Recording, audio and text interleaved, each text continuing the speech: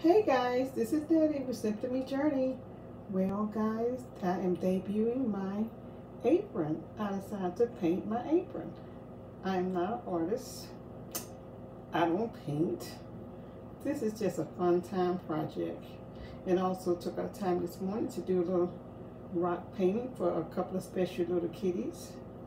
Grand kitties that is. Well, look at here. Little girl, you're in love from Nana. How about that? And also painted rock for Ethan.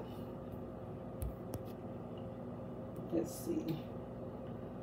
Yeah, I love Ethan. Yes, guys, I know that shoulder looks really professionally done. No, I'm not professional. Just something to relax my mind and have some little fun time. And again, Simply Me Journey. Enjoy your journey. And yeah, God, I know, I know. Look like a one-year-old paintwork, right? That's okay. It's just something I felt like doing. And again, Simply Me Journey. Enjoy your journey. And you guys have a blessed day. I hope you like my little painting. Remember, I'm not a professional.